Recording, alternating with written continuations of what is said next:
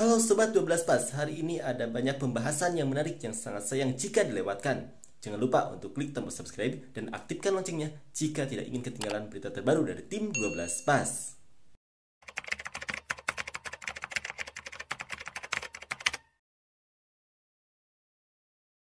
Timnas Indonesia sukses mendulang hasil di luar dugaan pada pertandingan pertama babak kualifikasi Piala Asia 2023 secara kualitas memang pada awalnya Timnas Indonesia dianggap bukan kekuatan yang harus diwaspadai.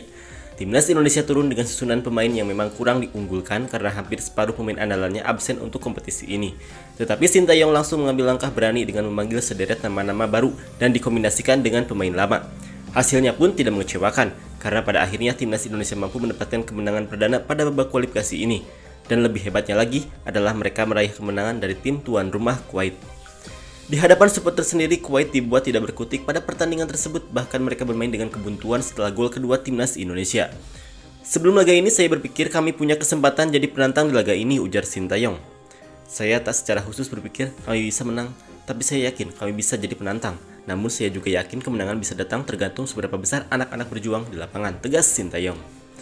Baginya, kemenangan atas Kuwait merupakan bukti peningkatan level sepak bola tanah air. Selain itu, seharusnya ditunjang dengan fasilitas yang baik, maka hasilnya mungkin akan jauh lebih baik. Saya tak yakin sejak kapan terakhir Indonesia menang atas Kuwait, akan tetapi dengan kemenangan ini, saya tak ragu sepak bola Indonesia akan berkembang lebih lanjut ucapnya. Meskipun meraih kemenangan atas Kuwait, rupanya pelatih Yordania tetap memandang timnas Indonesia bukanlah salah satu kekuatan yang layak lolos ke babak selanjutnya.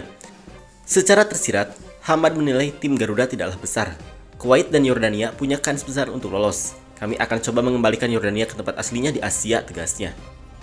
Kita tunggu pada pertandingan kedua nanti saat timnas Indonesia bertemu dengan Yordania, apakah akan ada kejutan lagi dari Sintayong kepada Yordania.